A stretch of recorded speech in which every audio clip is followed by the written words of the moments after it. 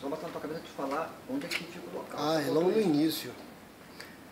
Levanta a mão aí, Fernando, no início. Não, eu vou te atrapalhar. Não, le- Manda, manda cá. Quando, pra cá quando, mim. é, do- quando você quiser, você fala já, aperta aqui.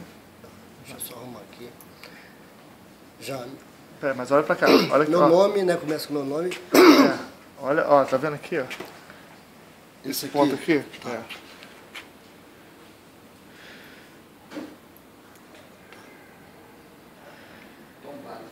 Já.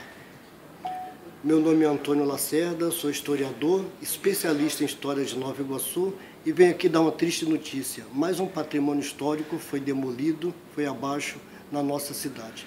Trata-se do barracão da família Baroni, de Francisco Baroni, o rei da laranja, o maior empreendedor de laranja de Nova Iguaçu, que fica localizado atrás da rodoviária de Nova Iguaçu, próximo do restaurante popular é bem no centro da nossa cidade.